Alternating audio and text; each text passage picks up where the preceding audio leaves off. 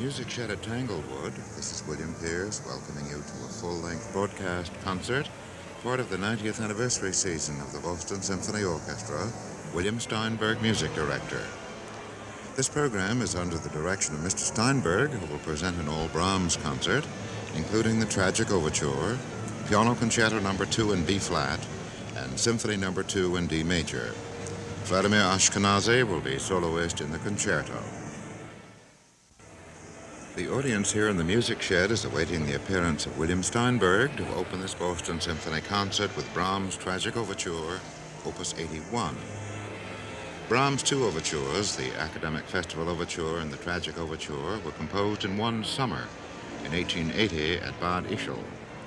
It was his first summer in this particular resort, and although he was somewhat discouraged by an abundance of rainy weather, its charms drew him again in later years. I must give high praise to Ischl, he wrote to Billroth in June of 1880. And although I'm threatened only with one thing, the fact that half of Vienna is here, I can be quiet here. And on the whole, I do not dislike it. Which is to say that Ischl had already become the gathering point of a constant round of cronies from Vienna. Brahms' friends, of course, would scrupulously respect the solitude of the master's mornings, creative hours spent partly in the country walks, partly in his study. Later in the day, he would welcome the relaxation of companionship, of conversation to an accompaniment of black cigars and coffee, of mountaineering, for Brahms was a sturdy walker, or of music making together. William Steinberg was born in Cologne. Being graduated from the conservatory of his native city in 1920, he became assistant to Otto Klemperer at the Cologne Opera. Soon afterwards, he was appointed one of the company's principal conductors. He was engaged as first conductor of the German Theater at Prague in 1925, becoming opera director two years later. William Steinberg is now on stage to open this Boston Symphony Orchestra concert from the 1971 Berkshire Festival with Brahms' Tragic Overture.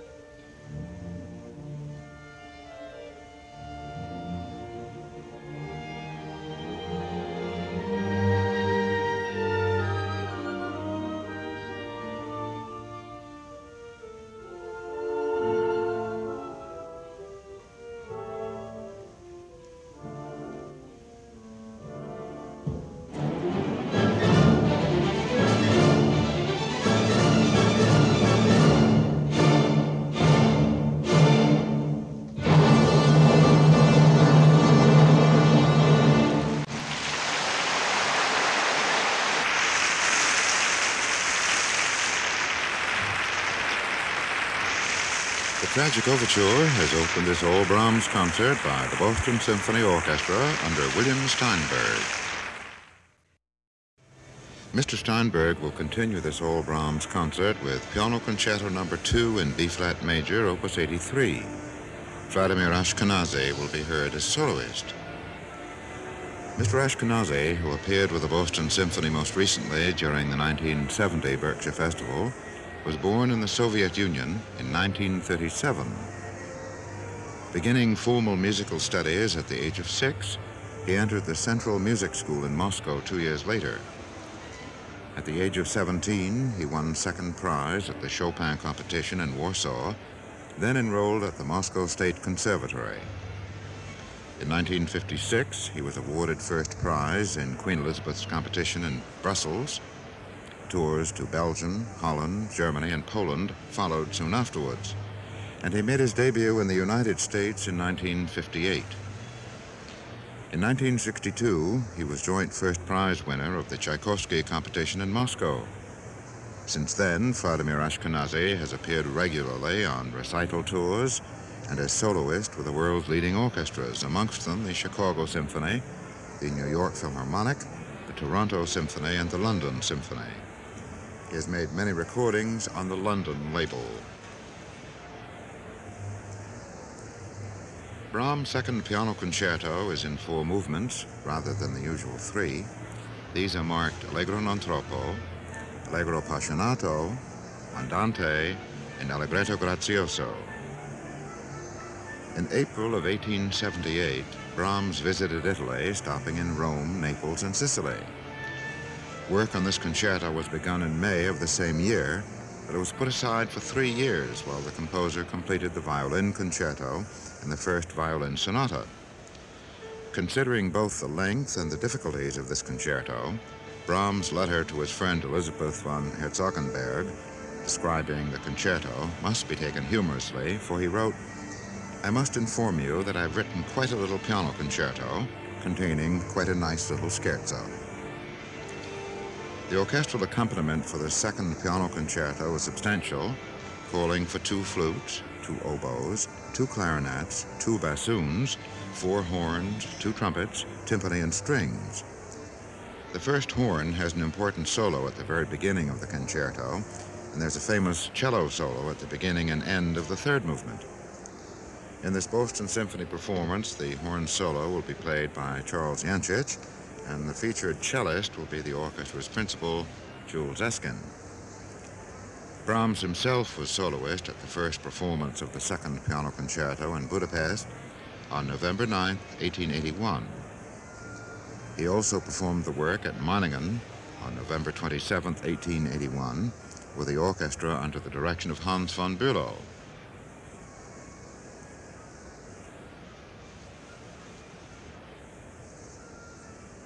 The stage change has taken place. The piano is on stage and our soloist will be appearing, the conductor, in just a moment. Vladimir Ashkenazy is soloist. Of course, William Steinberg, music director, is conducting the concert.